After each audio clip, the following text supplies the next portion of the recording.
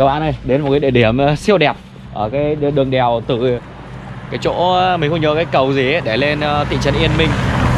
Chỗ này đẹp quá, nên là phải dừng lại, check in một tí thôi. Wow.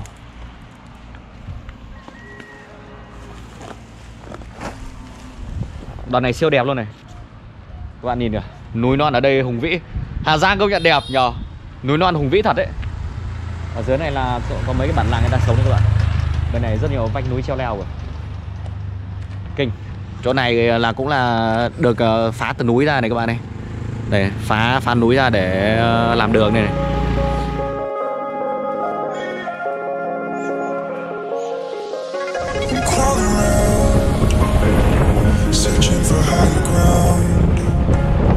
Can't see in front of me, my enemies. I've tried every possibility,